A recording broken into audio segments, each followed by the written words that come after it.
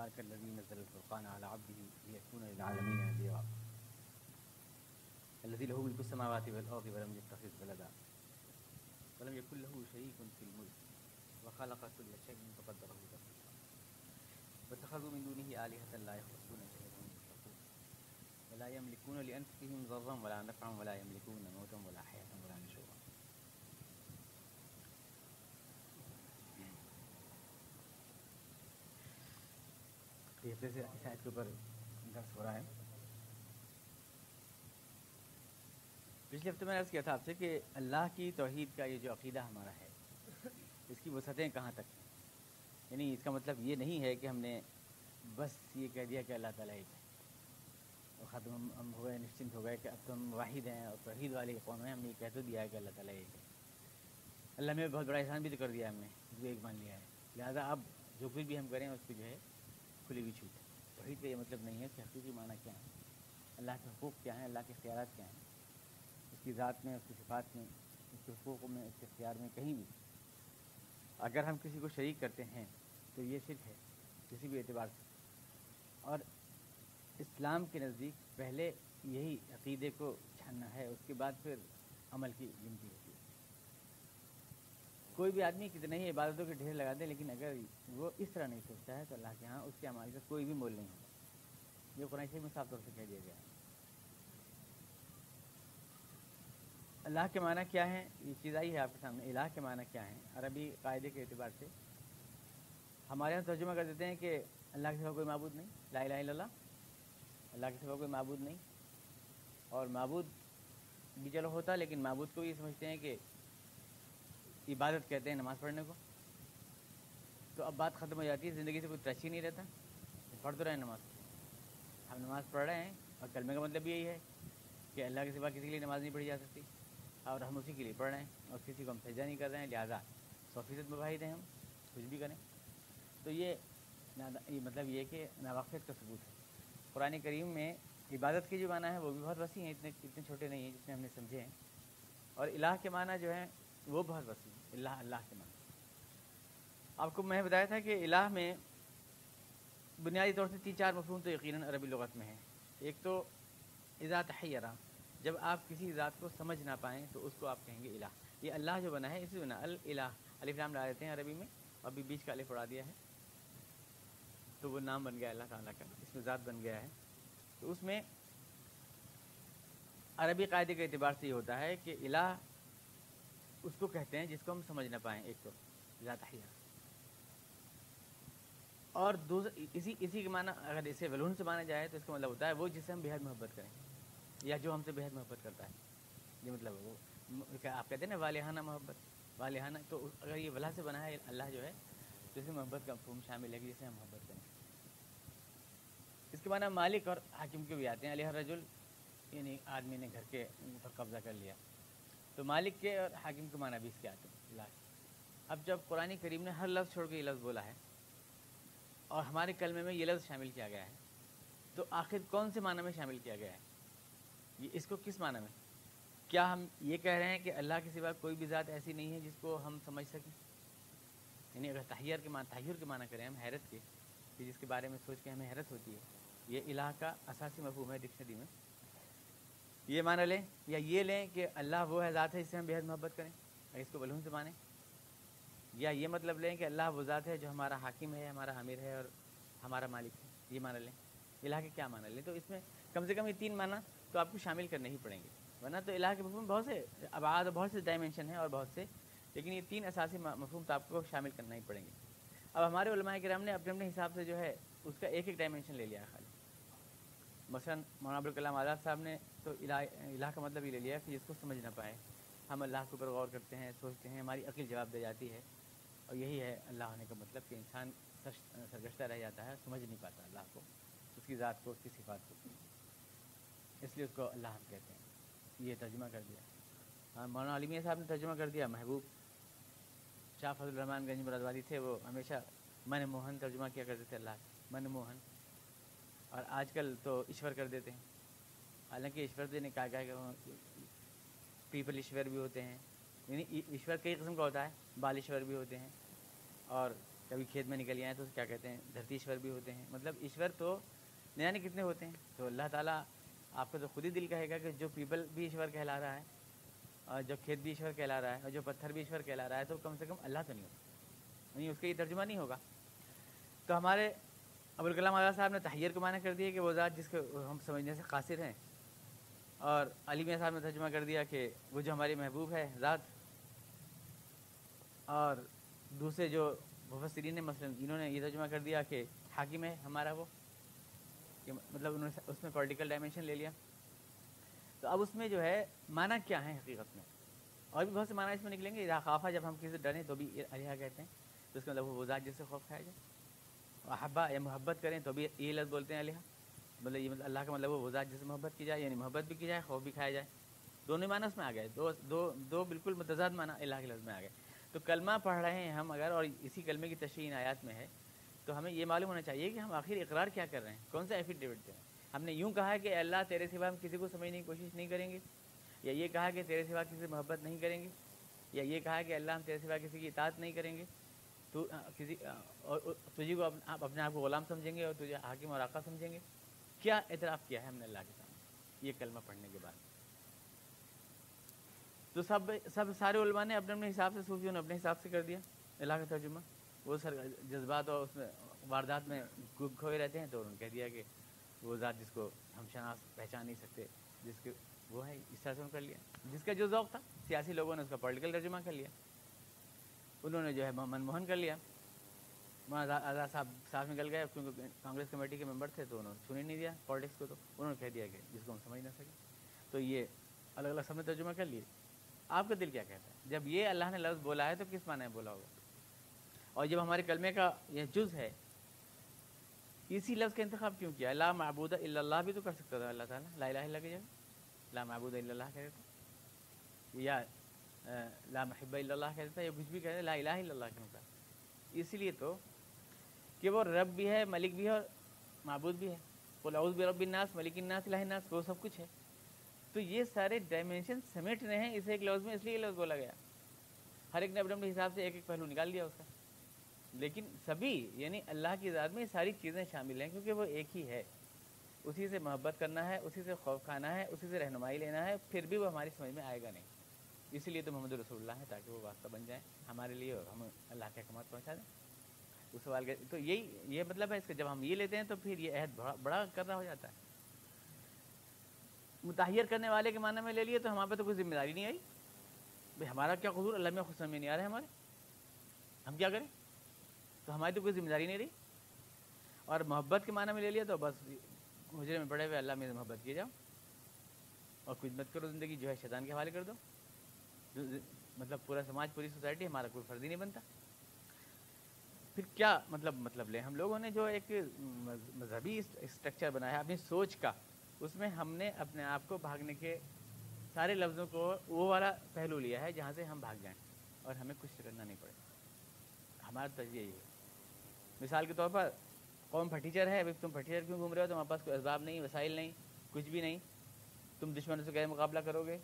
और किस तरह दुनिया में जियोगे और किस तरह से जो है इज़्ज़त की ज़िंदगी गुजारोगे और आखिरत में अल्लाह की रजा हासिल करोगे। ऐसे फटीचर कौम तो भीख को अपना पेशा बना लेती है। तो उसके लिए लाज मौजूद है, ये फ़ख्र है। और हजूर ने इस पर फ़ख्र फरमाया अलफ़्र फ़ख्र यानी कुछ ना हो इसी में मुझे फ़ख्र है। ज़्यादा आप इस पर फ़ख्र पे फ़ख्र कर रहे हैं, लेकिन मकसद ये कि दूसरे लोग तो तैयारी कर रहे हैं आपके ख़िलाफ़ तो फिर आपके फ़ख्र से कैसे काम चलेगा? अब फ़ख्र पे आपने किया और वो आपके ख़िलाफ़ तैयारी कर रहे हैं और आप कुछ तैयारी नहीं कर रहे हैं तो फिर मतलब किसी को भी नज़रिया आती है या कैसी भी, आप मतलब ज़िंदगी में फ़राइज़ अदा नहीं करना चाहते अपने तो यहाँ तवक्ल गलत बोल दिया कि हमें तो अल्लाह भरोसा है। वो तो बगैर इसबाब के सब कुछ कर सकता है। हमें करने की ज़रूरत अल्लाह ताला का के लिए। वो करेगा। फिर अगर किसी ने पूछा कि भाई ठीक है, आपने अल्लाह ताला के ऊपर तवक्ल फरमा लिया, लेकिन इसके बावजूद भी पिट रहे हैं आप तो अल्लाह मियाँ ने तो कोई भी आपकी दुआ भी नहीं सुनी। इराक में आप पिट गए, अफ़गानिस्तान में आप पिट गए, हर जगह आप पिट गए। क्या फ़ायदा हुआ? आपने खुद भी कुछ नहीं किया और लमिया ने भी आपके लिए कुछ नहीं किया? तो कह दिया कि ये तकदीर है। ये तकदीर है। अब उनसे कहा, भाई, आप तो बर्बाद हो गए बिल्कुल। आपके तो अमाल भी ख़राब हो गए। जब कोई कौम मुफलिस होती है तो उसमें अखलाकी खराबियाँ पैदा होती हैं। आप चोर हो गए, आप उचक्के हो गए। आपने कुछ तैयारी नहीं की। दुश्मन आप पे गालिब आ गया, महकूम हो गए। वो गालिब हो गए, आप तो बर्बाद हो गए। किरदार भी आपका बर्बाद हो गया। तो कह दिया गया हुजूर शफात कर लेंगे हमारी मतलब भाग देगा हर जगह गुनाह हो रहे तो होने तो वो शफात कर लेंगे। फ़ख्र पे फ़ख्र किया, फ़ख्र से काम नहीं बना तो अल्लाह भी छोड़ दिया, तवक्कुल करके। अल्लाह ने भी नहीं सुनी तो तकदीर कर दिया उसको। और उसके बाद अपने अंदर जो खराबियाँ पैदा हुई तो कह दिया, हुजूर का के लिए शफात करेंगे हमारी कबर में? हमें वहीं रहना है, हम जो कर रहे हैं मतलब। बोलो, नहीं, परनाला वहीं करना है। हर सवाल का जवाब देने के लिए लफ्ज़ है हमारे पास। लफ्ज़ हमारे पास है। ला इल्लल्लाह, या इसमें जो अल्लाह ताला ने तौहीद का बयान फरमाया है, उसकी वसत हमें समझनी चाहिए कि अल्लाह ताला इसमें कहना क्या चाहता है। दावा है ये। दावे में यह है, अल्लाह फरमाया कि सारे पैगंबर इस दावत को लेकर आए। रसूल मैंने कोई भी रसूल नबी ऐसा नहीं भेजा। जिसने अपनी बुनियादी दावत, ये ये न दी हो कि मेरे सिवा कोई इलाह नहीं है। नहुला हर एक ने यही कहा। तो ये जो पैगंबर आए, जिनकी कोई शुमार नहीं है, एक ज़यीफ़ हदीस के मुताबिक एक लाख चौबीस हज़ार या कितने पैगंबर और आए हैं, सब ये काम लेके आए हैं और अल्लाह ने ये सिलसिला जारी किया है। जो चीज़ भी इम्पोर्टेंट है, इतनी अहम है। और हमारी इंसानी फितरत भी है कि फितरत में शामिल है हमारी तोहद, ये भी कहा जाता है हमारी फितरत में शामिल है। सारे पैगंबर इसलिए आए, सारे अल्लाह ताला निज़ाम कायनात इसलिए बनाया। तो आप सवाल कर सकते हैं कि जब अल्लाह ने इतने इंतज़ाम किए, किताबें उतारी पैगंबर भेजे, इतनी बहुत सी किताबें और तोहहीद की वजाहत के लिए भेजी, इसके बावजूद शिरकी शिरक है सारी सोसाइटी में? तो इतना नाकाम क्यों है ये ये मनसूबा यानी तोहहीद अगर हमारी फितरत की आवाज़ है तो हमें तो सबको एक अल्लाह से चिमट जाना चाहिए था। और उसी को अपना आका मान लेना चाहिए था, उसको। अगर ये इंसानी फितरत है, मगर ऐसा हुआ क्यों नहीं? तोहहीद असल तोहहीद वाले तो हमेशा गिने चुने ही रहे, जो अल्लाह की तोहहीद के कायल हैं। फिर ये इंसानी फितरत का अगर में इंजेक्ट किया हुआ जज्बा है तो ये क्यों इंसानों के अंदर नहीं आया? और लोग क्यों शिर की तरफ़ भागे? मतलब सारे पैगंबर इतने बहुत से और सारी किताबें इतनी बहुत सी अल्लाह की और सारे सुलहा और कितने लोग और सब सब बेकार चले गए, सबकी मेहनत, एक शैतान सबको डिफिट दे रहा है। सभी को।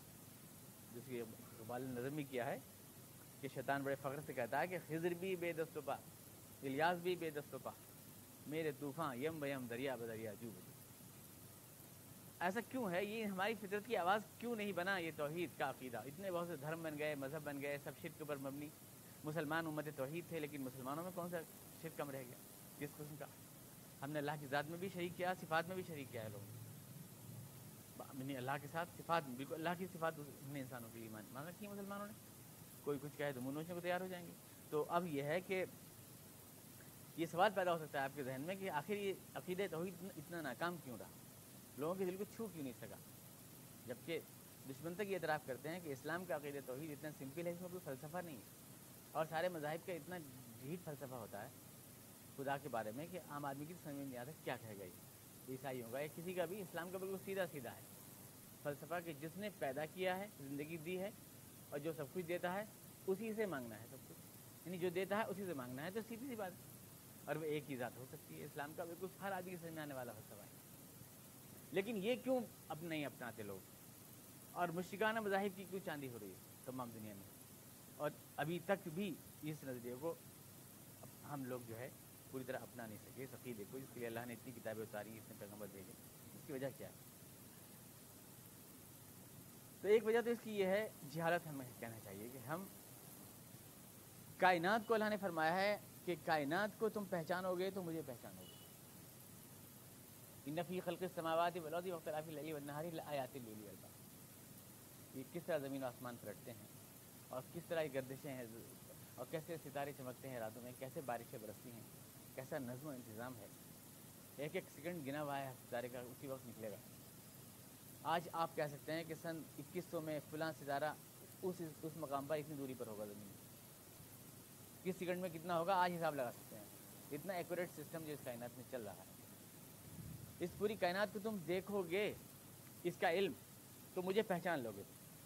हमने चूँकि हक़ कायनात से जहालत इख्तियार कर रखी है, हम अपने चारों तरफ़ देखते नहीं, पलटते नहीं ये तमाम दुनिया में जो कुछ भी हो रहा है इतना बड़ा कारखाना आलम जो है तमाम दुनिया में, कि जिसकी अगर आप कायनात की वसतों का हिसाब भी लगाने बैठें तो आपसे लग नहीं सकते। ये चाँद जो है, जिस बिल्कुल ही तो ज़मीन की से निकली हुई एक फुटकी है, ज़मीन जब घूम रही थी तो उसमें एक फुटकी निकल गई है, घूम रही है अलग से, बस ये तो ज़मीन का ही सेटेलाइट ये चाँद जिसको कहते हैं, लेकिन इसके ऊपर जो सितारे फैले हुए हैं उनको तो हम हिसाबी आदात शुमार में ज़ाहिर भी नहीं कर सकते।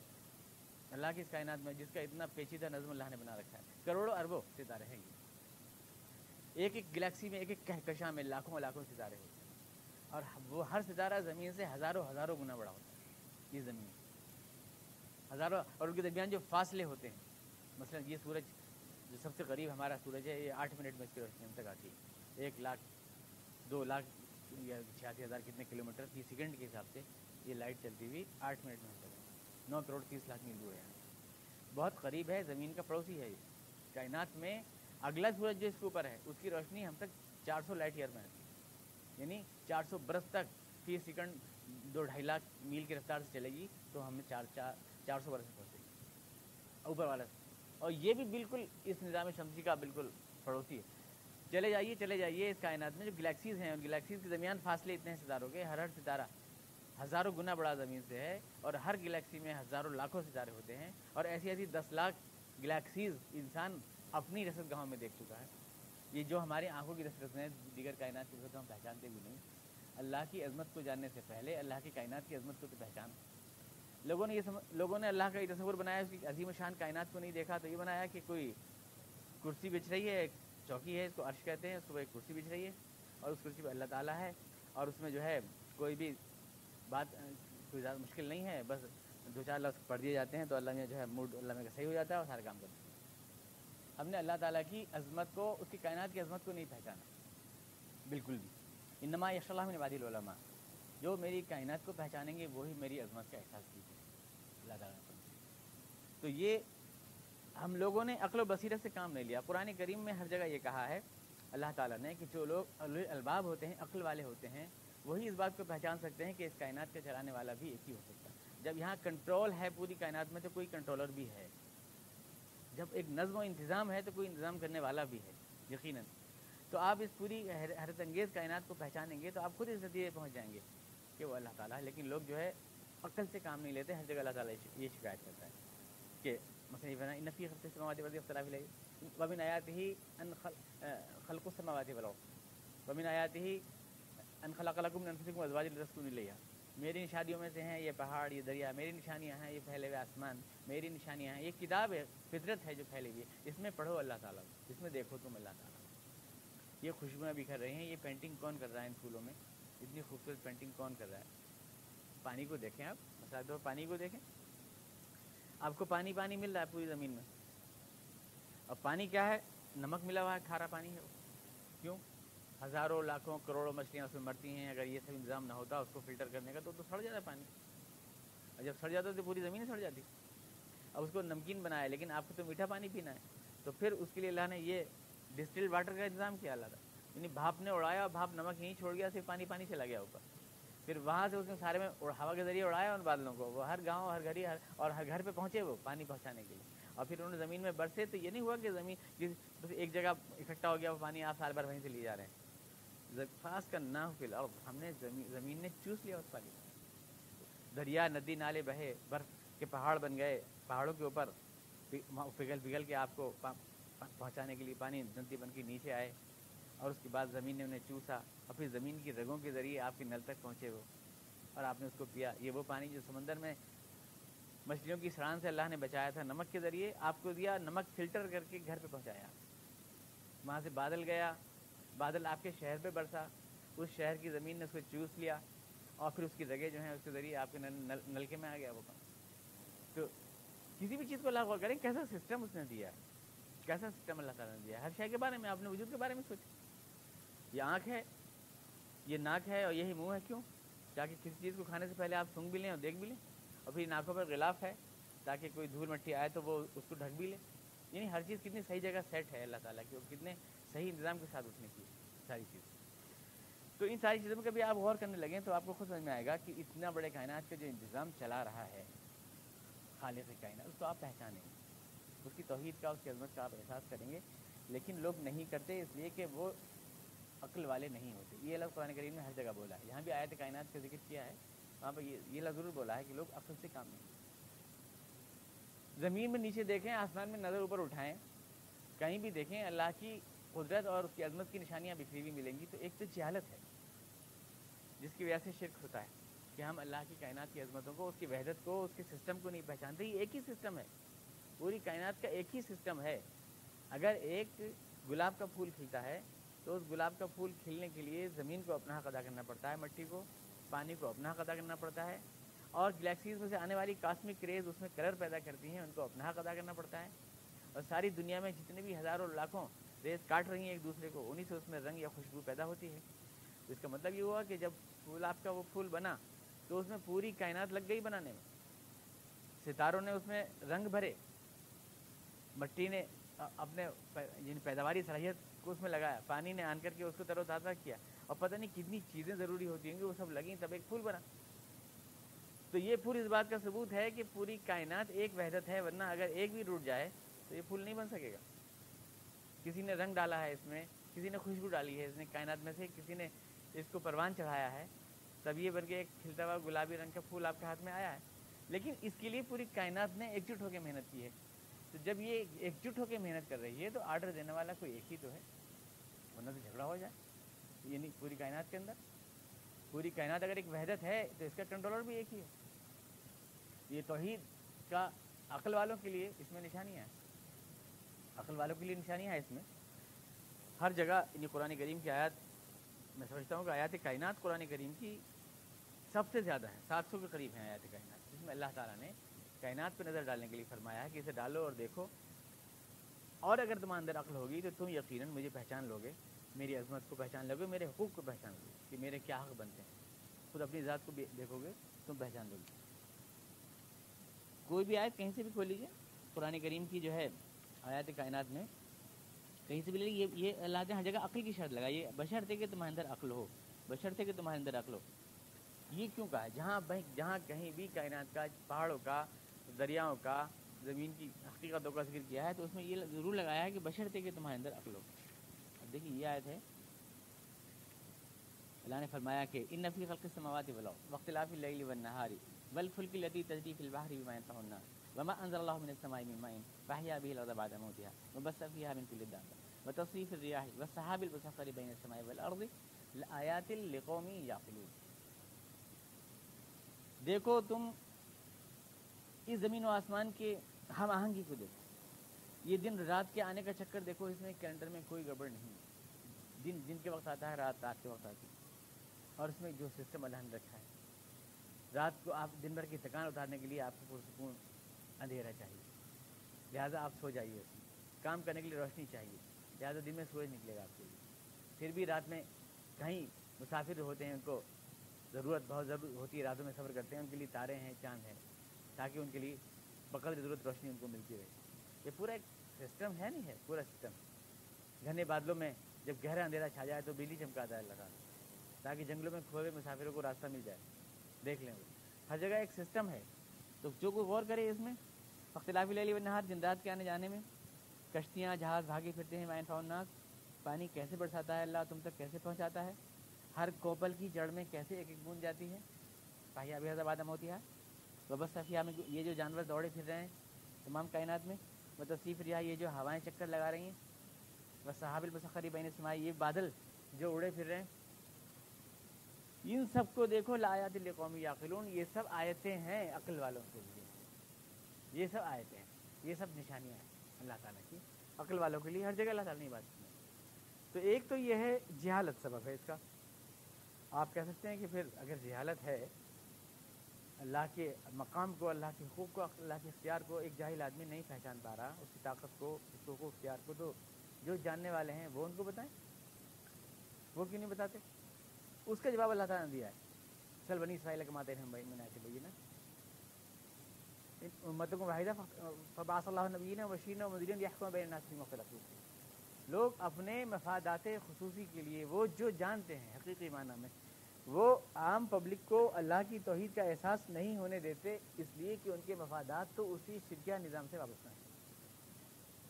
अगर वो अल्लाह ही को मुदा मुख्तार बना दें तो फिर उनकी चौकट कहाँ से देगी? अगर वो मीडिएटर न बने अल्लाह के बंदों के बीच में तो उनके आस्थाने पर रौनक कहाँ से आएगी? लिहाजा वो क्यों बताएँ सही बात? वो तो यही कहेंगे मतलब एक ऐसा सिस्टम बनाएँगे जिसमें उनको भी फ़ायदे मिलते हैं। और वो इसलिए मजहबी प्रभावित होकर एक सिस्टम बन जाता है, जिनके हाथ में ठेका होता है आपको से मिलाने का। और उस ठेके का पूरा कमीशन वो वसूल करते हैं। हर मजहबी ग्रोह में ये होता है।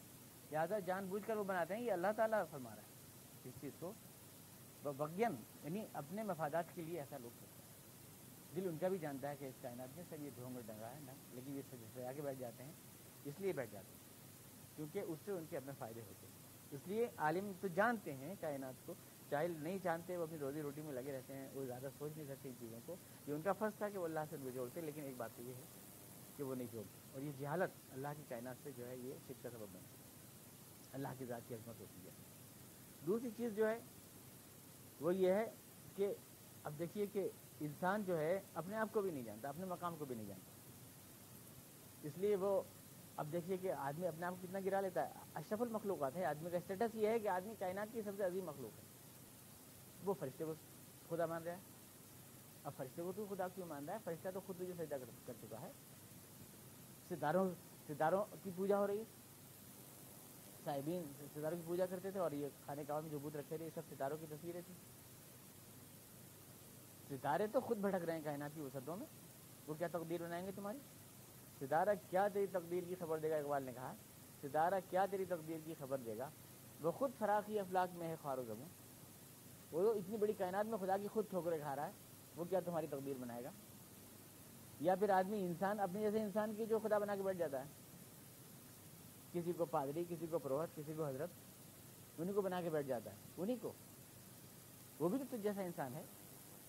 इन लदीन तदून अमिन इबादुन अमसालो कुरान ने कहा वो लोग जिनको तुम अल्लाह को छोड़ करके पकड़ते हो वो तुम्हारे ही जैसे इंसान है। तुम्हारी अकल को क्या हुआ? इन तदुम ला, ला अगर तुम उनको पुकारोगे तुम्हारे पुकार सुन नहीं सकेंगे।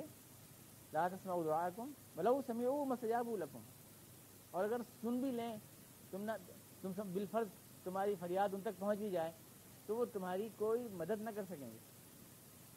वह यौमल क़ियामत यह फरून बशिर की कुम और वही क़ियामत में अल्लाह के सामने तुम्हारे खिलाफ मुकदमा दायर करेंगे कि इन लोगों ने हमारी ज़ात को शिर का ज़रिया बनाया।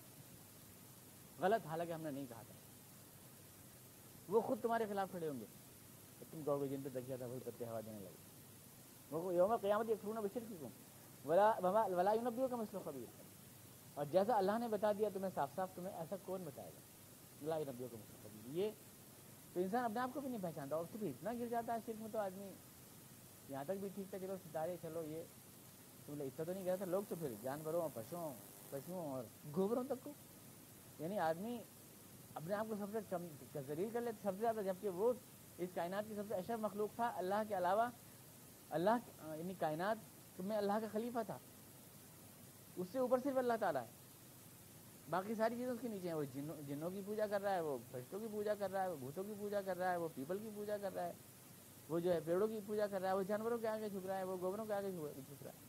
तो ज़ाहिर बात है कि दूसरी वजह यह है कि आदमी खुद अपने को नहीं पहचानता कि मेरा क्या मकाम ये जहालत अपने मकाम से जो उसकी हो रही है, उसको नहीं पहचानता। तीसरी वजह इसकी है तोहहीद जो नहीं आती हमारी उसमें मतलब हमारी ज़िंदगी में नहीं आती, माहौल भी एक माहौल जो बना हुआ है हम माहौल की पैदावार होते हैं, माहौल से ख्याल मिलते हैं जिस घर में जो आदमी पैदा हो जाता है, वो उसी घर के ख्याल उसको बन जाता है। आदमी कौन तजिया करता है, कौन तहरी, कौन रिसर्च करता है, कौन एनालिसिस करता है, कोई भी नहीं करता। जिस घर में जो पैदा हुआ है, वही है। अब्बा अब्बा जो थे, वही हैं। हम भी वही हैं। और फिर आप अब आप तो मुसलमानों के मसले के खिलाफात में देख लीजिए। कि एक साहब जो है, वहाबियों में पैदा हो गए तो वहाबी हैं। बरेलवी में पैदा हुए तो बरेलवी हैं। अहल हदीस में पैदा हुए तो अहल हदीस हैं। और लड़ रहे हैं, उनका काम उधर से लड़ना, उनका काम उधर से लड़ना। तुमने कोई रिसर्च किया क्या? नहीं, क्योंकि घर में पैदा हुए हो। लिहाजा अब तुम्हारा फ़र्ज़ बन गया। आदमी ख्याल अपने घर आँगन से लेता है अपनी ज़िंदगी पर उसकी वकालत में गुजार देता है। तजिया कौन करता है? किसी बात कोई तजिया नहीं करता। है फिर बहुत कम लोग होते हैं जो डिस्कवर करें फैक्ट्स को, हकायक को समझ के अपनाएँ। ऐसे बहुत कम लोग होते हैं। इसमें तो हम्बे हम्बे होती है बस। कब वह कान ले गया तो सबने अपने कान पकड़ लिया मतलब इसमें ये नहीं होता कोई रिसर्च नहीं होती। तो माहौल का प्रोडक्ट होते हैं हम लोग। मैंने सोशल एनिमल आदमी माहौल का प्रोडक्ट होता है। आदमी समझ है, वाह रे, मैं तीस मार खा मैंने ये बात कह दी, मैंने वो कह दी, कुछ भी नहीं तुम तो चबे चबाए लोग में पेश कर जो तुम्हें सिखाया गया तुमने दोहरा दिए। बस, तुमने कोई अपनी अकल शरीफ को थोड़ी जहमत दी, ज़रा सी। तो वो कहने लगता है तो ये माहौल जो होता है, ये माहौल जो डेवलप करता है, हजूर ने फरमाया, कुल्लू मौलूदी यूरद और इस्लामिया बाबा यहविदानी है नफसरानी है और मजसानी हर बच्चा जब पैदा होता है तो वो इस्लाम की फितरत से पैदा होता है, तोहीद के ऊपर पैदा होता है। लेकिन उसके माँ बाप उसको यहूदी, ईसाई मजूसी बना देते गर्द। आईने की तरह होता है, जब पैदा होता है दिल। मगर जैसे आईने में पानी और गर्द और मट्टी पड़ता रहे तो फिर आईना तस्वीर दिखा नहीं सकता। गदला हो जाता है, वैसे भी हमारे दिल का आईना गदला हो जाता है। माहौल माहौल में रहने, माहौल माहौल में रहने, माहौल माहौल में रहने, माहौल माहौल का मिल जाता है। फिर चूँकि तोहहीद को अपनाने के बाद आदमी की ज़िंदगी बड़ी पाबंद हो जाती है ना, कि ये करो, वो मत करो ये जायज़ है, वो नाजायज़ है, अल्लाह ने ये फरमाया है, इससे रोका है। शिरक में सबसे, सब चीज़ें छूट मिल जाती है। आदमी सहल पसंद है, वो कहता है इतना लंबा ही चार्टर क्या ज़रूरत पड़ी है? एक नारियल ले जाए फोड़ देंगे। ख़त्म। सब कुछ हो जाएगा, ये डुबकी मार लेंगे, या ये कर लेंगे, या वो और हमारे यहाँ, हमारे माहौल के अंदर भी नजराने वगैरह, ये सब करेंगे। आम आदमी तो बेचारा, इसका वो बनता है कि एक तो उस निज़ाम को टैक्स अदा करता है वो। फिर कुछ शावलिया ने लिखा है तो लाल में इस बात को शावलिया ने लिखा है कि शिरकिया माशा जो होता है, उसमें आम आदमी इस तरह पिस जाता है कि तो बेचारा निज़ाम वक्त को टैक्स अदा करता है और जो पैसे बचते हैं, वो अल्लाह वालों की नज़र कर देता है। नजराने। कुछ नजराने में, कुछ टैक्स में, वो वो चित्रे में चित्रे ही लगा रहता है। वो अपनी हालत को सुधार नहीं पाते। और अगर सुधारने की कोशिश करे तो उसको ये जो है, नजराने कबूल करने वाले कुछ लफ्ज़ सिखा देते हैं। तेरी हालत ख़राब है? तकदीर थी तेरी है अल्लाह ताला ने बनाई तेरी तकदीर। मुझसे साहब, मुफलिसी की वजह से ये गुना हो गया, मैं तो चोरी कर बैठा या बच्चों का पेट नहीं वाला घबरा नहीं हजूर शबात कर देंगे, ठीक। मतलब हमने अपनी हालत को सुधारना नहीं है। और तेरे खिलाफ ये सब मुनज़म हो रहे हैं, ये है, वो है, कर तैयारी कुछ? नहीं नहीं। वो तो सब अल्लाह करता है। जो भी करता है, अल्लाह ताला करता है। कुछ भी नहीं है। हर चीज़ के लिए जो है मतलब उन लोगों ने ऐसे लव सेट कर दिए हैं कि आपको सही राह पर चलने नहीं देंगे। ये जो है, ये शिर के असबाब होते हैं। कुरान करीम ने इन सब सबको तस्करा किया है। जगह जगह कुरान करीम में इन चीज़ों को बयान फरमाया है, आयतों में। आयतों को देखिए रेफरेंसेस में लिए थे। जगह जगह अल्लाह ताला ने इस चीज़ को जो है ज़ाहिर किया है कि एक बात असल में यह है कि हम लोग अल्लाह के दरबार को भी प्रयास करते हैं हुकूमतों के ऊपर, जो दुनिया भी हुकूमतें होती हैं। हमने तोहहीद में इसलिए भी गड़बड़ होती है। हम समझते हैं कि जैसे दुनिया में हम देखते हैं कि बैठे हैं कोई ऑफिसर साहब नक चढ़े कोई बात कहनी है तो ऐसे सुनते नहीं डायरेक्ट उनके पी से कहिए, उनके असिस्टेंट से कहिए या उनके क्लर्क से कहिए, वहाँ जाइए पहले।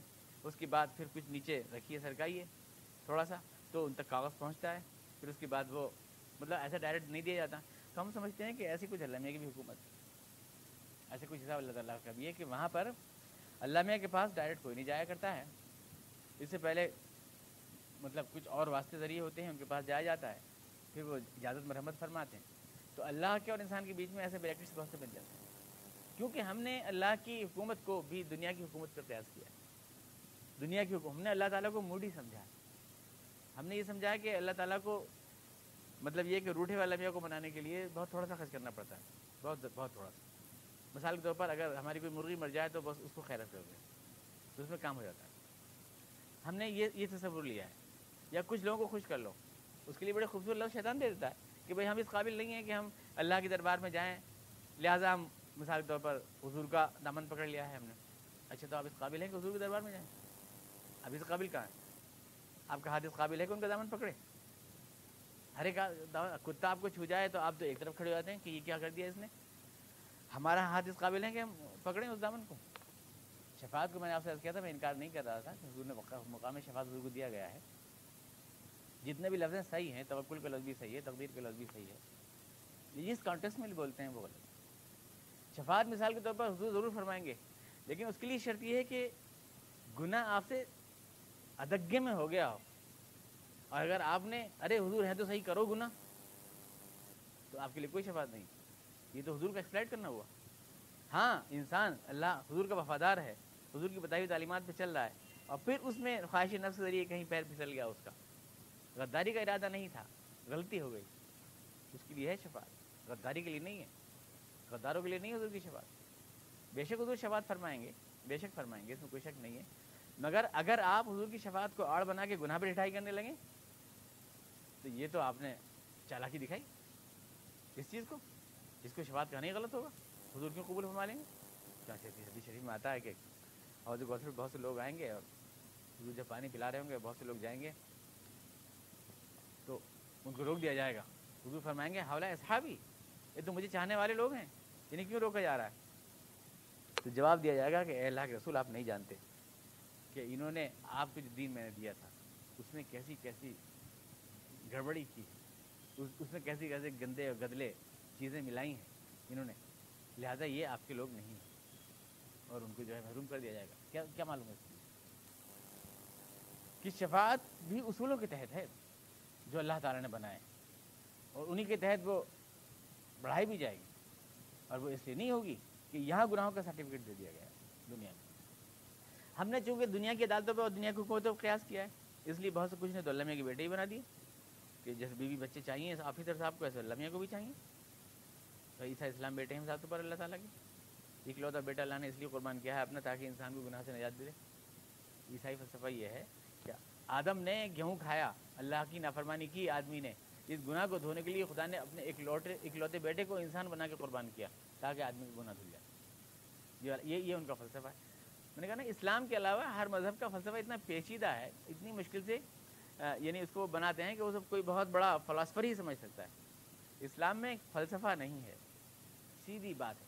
और जो सच्ची बात होती है, वो सीधी होती है।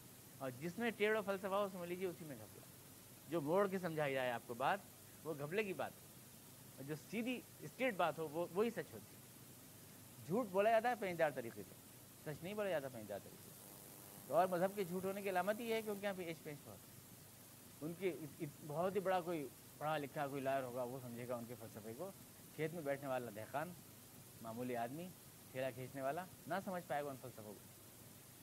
ये इस बात का सबूत है कि इस्लाम दीन फितरत है सच बोलता है, इस्लाम और वो ज़ाहिर के मुकाबले जो तस्वूर देता है अब ज़ाहिर है कि अकीद तोहहीद जो है, जिसको बुनियादी अहमियत दे रहा है अल्लाह ताला और फरमाया कि वो ही मालिक है, उसकी देखिए इसमें दलीलें भी आ गई इस चीज़ के लिए कि जब उसी ने बनाया तो मालिक तो वही हुआ। दूसरे कैसे हो गए मालिक? जब उसने पूरी कायनात को उसने बनाया, तुम्हें भी बनाया, तुम्हारे वजूद को भी बनाया तो फिर मालिक तो वही हुआ जो खल्क करता है अल्लाह खल्क वल अम्र, जो पैदा करता है वही तो हुक्म चला सकता है तुम्हारे ऊपर। तुम्हें? दूसरे कैसे? हकदार बन जाएँगे तुम्हारी ज़िंदगियों के या किसी चीज़ के? और फिर ये भी फरमाया कि उजीब दावत दाई दान। मुझे तुम सीधा डायरेक्ट पुकारो, मैं तुम्हारी सुनूँगा। उजीब दावत दाई दान, मैं तुम्हारी सुनूँगा। वसीले वाली बहस नहीं कर रहा हूँ मैं यहाँ पर, कभी आप समझें कि साहब वो हजूर का वसीला लेना हो तो वसूल लेना, वो मैंने बताया था, अरे वसीला अलग चीज़ है तो वसूल अलग चीज़ है। हजूर अकसलम का वसीला। से दुआ मांग रहे हैं, आप मांग लीजिए, कोई बात नहीं। आपके वसीले से मांग रहे हैं इसकी, इसका मतलब ये होता है कि हम मांगते, अल्लाह ताला से ही है सीधा। लेकिन ये बात कहते हैं अल्लाह ताला से कि, ए अल्लाह, इस दुआ को तुझ तक पहुँचाने का हक हमें इसलिए मिला है कि तूने जो इसकी बुनियादी शर्त रखी है कि वो मोहम्मद की उम्मत में हो वो आदमी तो मैं इस बात का एतराफ़ कर रहा हूँ कि मैं उनकी उम्मत में हूँ, लिहाजा मुझे वो हक हासिल है जो तेरे दरबार में दरख्वास्त भेजने के लिए होना चाहिए। इसका मतलब सिर्फ़ ये होता है। यानी हजूर के नाम का हवाला आप इसलिए देते हैं। अल्लाह ताला को देखते हैं, आप एप्लीकेशन तो अल्लाह को देते हैं, लेकिन हजूर के नाम का हवाला इसलिए देते हैं कि ये बुनियादी शर्त है अल्लाह के हजूर में दुआ कबूल होने के लिए। लिहाजा मैं इस दुआ को दे रहा हूँ और मैं उन पर ईमान रखता हूँ। ये वसीले का मतलब है। कोई मज़ाक नहीं है इसमें। इसमें कोई मज़ाक नहीं है। लेकिन ये मानना कि अल्लाह ताला ने कोई डिस्ट्रीब्यूटर्स बना रखे हैं अपने इख्तियार के? या सीधा उनसे मांग लेते हैं लोग तो? सीधा ही मांगने लगते हैं, सीधा।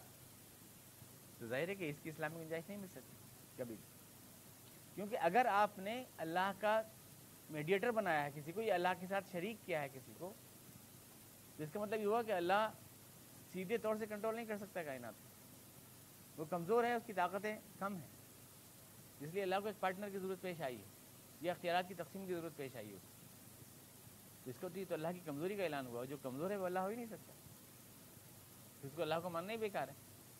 कुरान करीम में ये दलील दी गई है, यही दलील दी है जब आपसे कह रहा हूँ, इसी बात की दलील अल्लाह ताला ने दी है कि अगर अल्लाह ताला कमज़ोर होता तो उसको अपने शरीक खुल्लोकान माहू आलिहतन कमा या कोलूना इधर सबीला। अगर अल्लाह को अपने इख्तियार और किसी को देने होते तो फिर तो वो अपने इख्तियार का इस्तेमाल करके खुदा के मुकाबले में चढ़ाई कर देते। बोलो। इधर तकोलाशी सबीला। और फिर अल्लाह फरमाया लोकान फ़ीमा अलीहदन फसद था अगर अल्लाह ताला इख्तियार को अपने ही हाथ में न रखता, किसी और को भी दे देता तो इतने ज़मीन में झगड़ा हो जाता। इख्तियार का टकराव, दो मुकम्मल मुख्तार इदारे कहीं नहीं हुआ करते। उनमें टकराव होता है। लोकान फ़ीमा अलीहदन फसद था ज़मीन व आसमान का नज़म फासिद हो जाता। ये चीज़। तो तकाजे जो तोहहीद के बनते हैं ज़िंदगी में, मैंने पिछले दस में आपको बताया था, एक तो इंसान की ज़िंदगी में जो असर पड़ता है, वो ये कि उस एक अल्लाह का मानने वाला मैं हूँ तो मुझे ना तो किसी डरना है फिर। ना ही अब अकड़ना है तकबर भी क्या, क्योंकि जो कुछ मेरा है, मेरे पास वो मेरा नहीं, वो अल्लाह का दिया हुआ है तो तकबर किस बात का है? ऐसा से कमतरी भी नहीं होगा उस शख्स को। क्योंकि वो अल्लाह पे तवक्ल कर रहा है। तवक्ल का मतलब भी समझने की ज़रूरत है। तवक्ल का वो मतलब नहीं है, जो आपके सामने बयान किया जाता है। कि आप जो है कुछ मत करिए, घर बैठ जाइए। वो हदीस पेश करते हैं, तगदू खमासन व तरूह बितान वाली हदीस पेश करते हैं कि अल्लाह ताला जो है, बग़ैर इसबाब को भी दे सकता है। हज़रत अब्बास हदीस है। अगर उसने फरमाया, अगर तुम तवक्ल करते अल्लाह के ऊपर भरोसा करते तो अल्लाह ताला तुम्हें परिंदों की तरह रिस्क देता।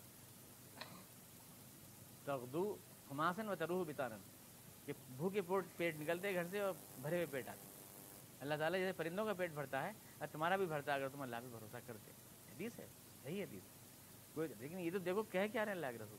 तकदू तरू। सुबह को निकलते हैं शाम को लौट के आते हैं। यानी दाने उनके घोंसले में नहीं जाते हैं। वो खुद निकलते हैं तलाश करने के लिए, और हासिल करके घर को लौटते हैं। रजाक तो अल्लाह ताला है, लेकिन इसके लिए उन्हें उड़ के जाना पड़ता है, और लाना पड़ता है। यानी अपनी जद्दोजहद करना पड़ती है। तो तवक्ल नाम हुआ इस बात का कि आप जद्दोजहद करें और उसके बाद अल्लाह पर नतीजा छोड़ दें।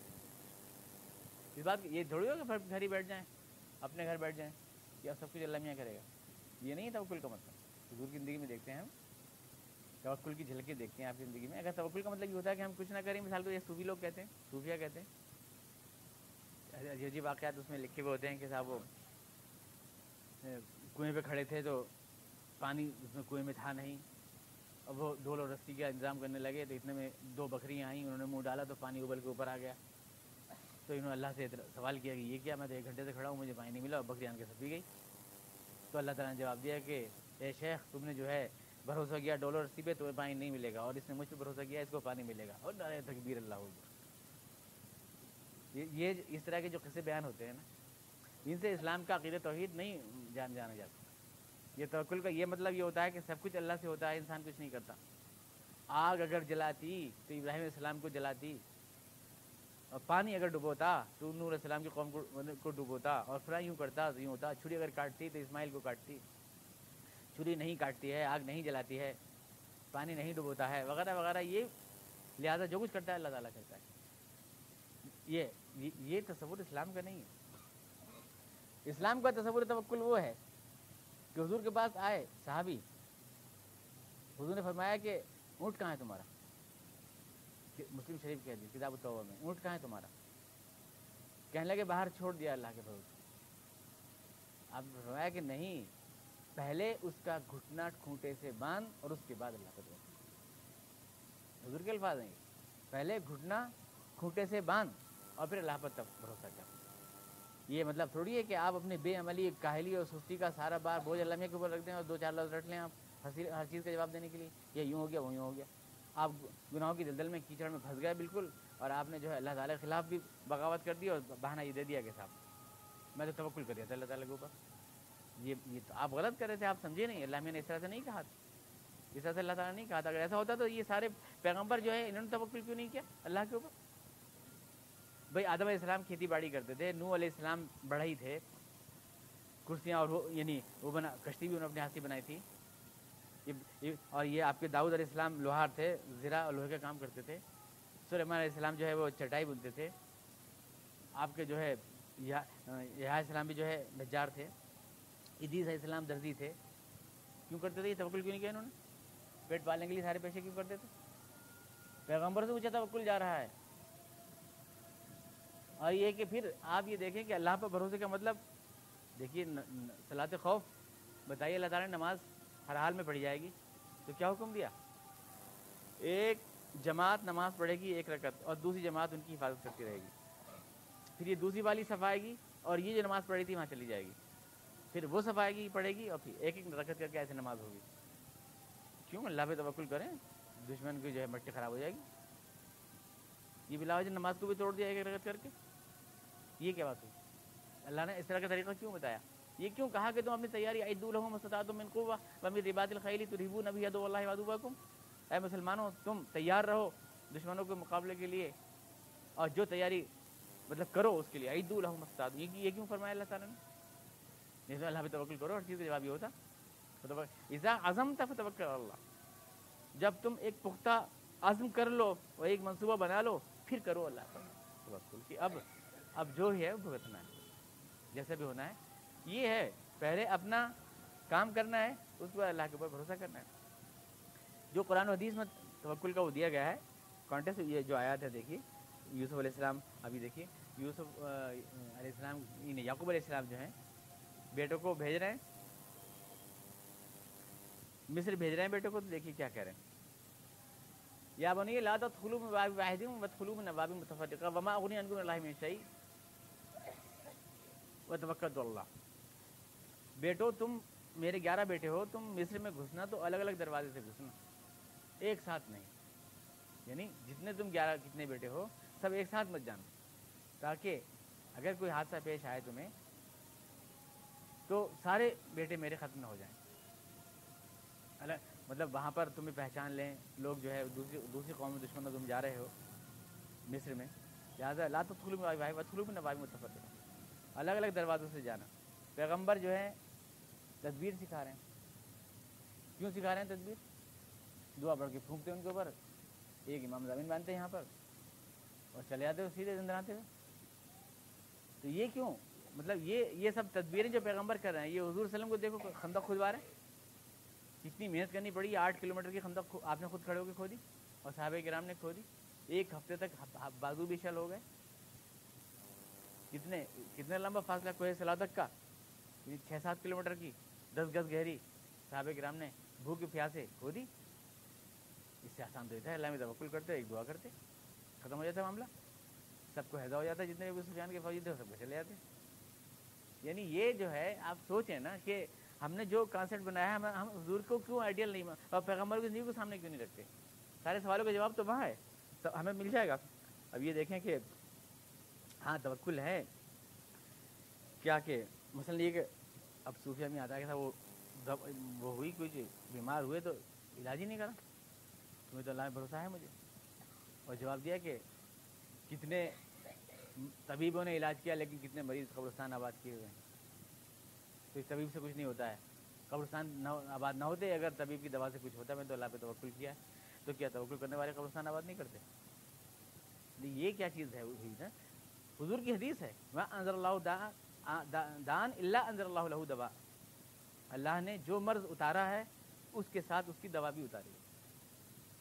जी हजूर फरमा रहे हैं दवा भी उतारी साहब ग्राम से क्या अपने आप खुद आपने इलाज कराया अपने पछने लगवाए। साहब ग्राम आयशा सदीक़ा इन अजवाज मतहरात को भी आपने जो उस दौरान का जो इलाज था वो क्यों करवाया? क्यों करवाया इलाज? तदबीर क्यों इख्तियार की? नहीं करना बल्कि ये कहा इन्हें भी कुछ सिखा दो। हज़रत शिफा बिन अब्दुल्ला से कहा अपनी अहलिया के लिए कहा कि तुम इन्हें भी कुछ सिखा दो। तो ऐसा क्यों कहा? तदबीर तदबीर का मकाम नहीं है क्या? तवक्ल अल्लाह पर तवक्ल का मतलब होता है आप अपनी तदबीर के रिज़ल्ट के सिलसिले में अल्लाह पर भरोसा रखें। यानी तदबीर कर लें पहले उसका रिज़ल्ट पर के सिलसिले में अल्लाह पर भरोसा रखें। मतलब बिजले नहीं घबराएँ नहीं। इस, इस, इस बात से कि पता नहीं क्या होगा? अल्लाह की ताकत आपके साथ है। आप अपना फ़र्ज़ अदा करें और अल्लाह की तरफ़ से करें अगर आप हक पर हैं, अगर सच्चे सच्चे रास्ते पर ये मतलब है। हर चीज़ का शफात का मतलब भी ये है कि अगर आप वफादार हैं अल्लाह और रसूल के और उनके अहकाम पर चल रहे हैं, इसके बाद शैतान के बहकाम आके आपसे कुछ गुना हो जाते हैं तो आपकी शफात होगी। और अगर आपने यूँ किया कि अपना तो परमिट बन गया है भाई। हजूर के लिए अब तो हमें गुना ही गुना करने हैं। तो फिर ज़ाहिर है कि आप ना हजूर के आने का मंशा समझे, ना कुरान करीम के नजूल का मंशा समझे। अगर जानबूझ के ढिटाई के साथ गुना हो रहे हैं और ज़िंदगी को अल्लाह रसूल के रास्ते पर नहीं लाया जा रहा है और महज भरोसा इस बात के ऊपर है तो ये ये गलत है। किसको अब हुजूर की तवक्ल की मिसालें देखें आप। हजूर आपको सब तशीफ ले गए, गार सौर में बैठे हैं आप अबू सिद्दीक थे गार में हैं। ऊपर सौ, दो सौ ऊँट का ऐलान हो चुका है गिरफ्तारी के लिए। ऊपर नज़र उठाते हैं सिद्दीक रदिल्लाहु तो कहते हैं कि यार रसुल्ला ये तो आ गए ढूंढते हुए हमें। और ज़रा नीचे झांके तो हम, हमको देख लेंगे। ये घबरा गए तो हुजूर फरमाया अल्लाह घबरा गए थे, क्यों हो? अल्लाह हमारे साथ ये है तवक्कुल जिसको कहते हैं, यानी आपने पहले हिजरत की है, पहाड़ की खोह में छुपे हैं जाकर। ये नहीं कि घर पे बैठ कर के अल्लाह हमारे साथ कह दिया पहले छुपे हैं, उस सांप बिच्छुओं के गार में जाकर और उसके बाद अच्छे के बाहर निकले। जब हजूर वसलम वो अराबी मिल गया और पेड़ के नीचे आप आराम फरमा रहे थे तो एक ने आन करके तलवार जो लटक रही थी हजूर की, वो हाथ में लेकर के के खड़ा हो गया हजूर के ऊपर। तो मामा नाम था, उसका क्या नाम था? हजूर की आँख खुल गई क्या देखा तलवार खींचे खड़ा है। कि आज मैं ख़त्म कर दूँगा, तुम्हें आप बताओ मोहम्मद, ऐसा करो कि मुझे यहाँ से तुम्हें कौन बचा सकता है? तो हजूर फरमाया, अल्लाह बचा। तलवार गिर गई इसके हाथ कि इतना पुख्ता आजमा यकीन, ये है तो मतलब ये सब कुर्बानी के रास्ते में हो रहा है। जो पहले निकल रहे खुद सुराखा का बयान है कि जब मैं हजूर को गिरफ़्तार करने के लिए भागा, बाद में तो मुसलमान हो गए ना सुराखा कि जब मैं हजूर को गिरफ़्तार करने के लिए भागा तो हजूर पलट के, यहाँ तक कि आपकी तिलावत कलाम पाक की आवाज़ मेरे कान में आने लगी। इतना करीब हो गया मैं हजूर के, कि आप जो कलाम पाक की तिलावत कर रहे थे, वो मेरे कान में आने लगी। तो अबू बकर तो पीछे पलट पलट के देखते थे, लेकिन हजूर नहीं देख रहे थे मेरी तरफ़। लाइल तभी तो इलाइए हजूर जो है मेरी तरफ़ नहीं देख आप बिल्कुल उस सूरत हाल से खौफजदा नहीं थे बिल्कुल। भी अबू बकर सिद्दीक जो है हजूर से मोहब्बत बहुत ज़्यादा थी। इसमें घबरा रहे थे परेशान हो रहे थे बार बार पलट पलट के देखते थे पीछे को कि एक दुश्मन पीछे से नहीं आ रहे हैं कुछ वो तो नहीं है लेकिन हजूर नहीं देख रहे। तो ये है हजूर ने हर मौके पर अल्लाह पर भरोसा किया है लेकिन घर में बैठ के नहीं किया है। किया है आपने सब कुछ सारी तदबीर इख्तियार की हैं। आपने उसके बाद नतज अल्लाह पर छोड़ें जो फैसला किया है फिर वो अल्लाह पर भरोसा करके आज कदम बढ़ाया। तो तवक्ल तो हमारे अंदर ताकत भरता है अमल करने की, और भी ज़्यादा। ये थोड़ी कि उन्हें हमें बेअमल और काहिल बना देता है। इसलिए थोड़ी है ये लफ्ज़, अल्लाह ने जो बोले। इसलिए नहीं है सारे लफ्ज़, काहिल बनाने के लिए। तकदीर के लफ्ज़ भी काहिल बनाने के लिए नहीं। शफात का लफ्ज़ भी काहिल बनाने के लिए नहीं। और तवक्ल का लफ्ज़ भी इसके लिए नहीं है, काहिल बनाने के लिए भी नहीं है। फ़क्र का मतलब भी वो नहीं है। जो हम लोग लेते हैं, जो हमारे बहुत से कुछ उलमा का बयान फरमाते हैं, कि फ़क्र के फ़कीरी फ़कीरी इख्तियार कर ली हमने तो हमें कुछ लेना नहीं। कहीं नहीं, हर मालदार के दरवाजे हो जाते हो। कहाँ कह रहे हो, फ़कीर? कौन से फ़कीर? झोला लिए हुए। भागे फिर रहो इसको थोड़ी फ़कीर कहते हैं। फ़क्र हजूर को जिस फ़क्र पे फ़ख्र है, वो भीख थोड़ी है। तो ने भीख मांगी है? भीख थोड़ी है। जो, यानी आप समझते हैं, जद्दोजहद करने को लोग समझते हैं, यह है दुनियादारी। वो एक साहब जो हैं, अपनी बीवी को छोड़ के भाग गए, फ़कीर बन गए। दिन का ऐसा गलबा उनके ऊपर छाया। एक दिन अपनी दरवाजे भीख मांगने आ गए। बीवी ने झाँक के देखा कि वो खड़े हैं, मियाँ। तो ये दरवाजे पूछे, क्या चाहिए कि मैं थोड़ा सा आटा होगा? कहाँ है? और क्या कि वो, मैं रोटी यहीं डाल डाल दो मेरे लिए फिर। तवा, चिमटा फ़कीर के पास सब है, तवा भी है, चिमटा भी है, झोली में, मेरे। आटा तुम दो, यहीं रोटी पका लेंगे। बीवी ने एक धोतड़ मारा के, तवा, चिमटा, आटा सब ली फिर रहा दुनिया का सामान, के खाली बीवी दुनिया होती है, छोड़ भाग गया। मुझे तो जो ये फ़क्र का मतलब ये नहीं है जो तस्वु वाले बयान करते हैं। फ़क्र का मतलब ये है कि आदमी मोहताज हो किसका? अल्लाह का सिर्फ़ और किसी का नहीं। फ़कीरी उस, उस लफ्ज़ का ताल्लुक अल्लाह के अल्लाह से हमारे रिश्ते पर है। कि जब अल्लाह मेरा सरप्रस्त और आका है तो मुझे अब किसी की एहतियाज नहीं उसी का मोहताज हूँ सिर्फ़ इन्होंने फ़क्र का मतलब तर्जुमा ये किया सारी दुनिया का मोहताज।